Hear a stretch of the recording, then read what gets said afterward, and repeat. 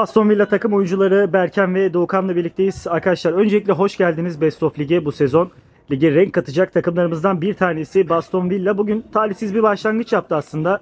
Rakibi oldukça hazırdı. Skoru da kolayca elde etti. Ancak bugünkü sorun neydi? Sizlerden dinlemek istiyorum öncelikle. Kaptan senle başlayayım. Neler düşünüyorsun? Hem maç hakkında hem performanslar hakkında hem de organizasyon hakkında. Öncelikle bizim kendi takımımız için ilk defa bir lig serüvenine katıldık. Bundan dolayı tecrübe eksikliği olarak görüyorum ben.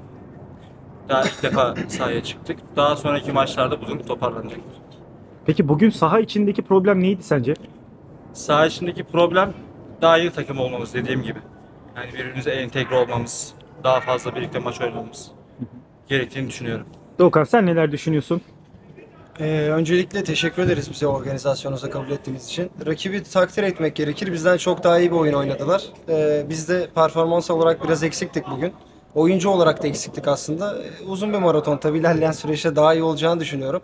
İlk maç için evet kötü bir başlangıç oldu. Önümüzdeki maçlarda umarım daha iyi sonuçlar elde Aslında ederiz. buradan şunu mu anlamamız lazım? Baston Villa'nın ilk yedisi bu değil. Evet, Daha kesinlikle. takviyelerin olacağı. Kesinlikle evet. Peki bizler teşekkür ediyoruz müsabaka adına. Önümüzdeki maçlarınıza da başarılar diliyoruz. Ayağınıza sağlık. Teşekkür Teşekkür ederim.